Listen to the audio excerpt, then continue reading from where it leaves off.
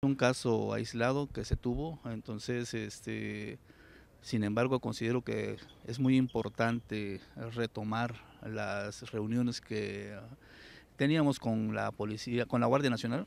Te comento que en los tramos no hemos tenido problemas.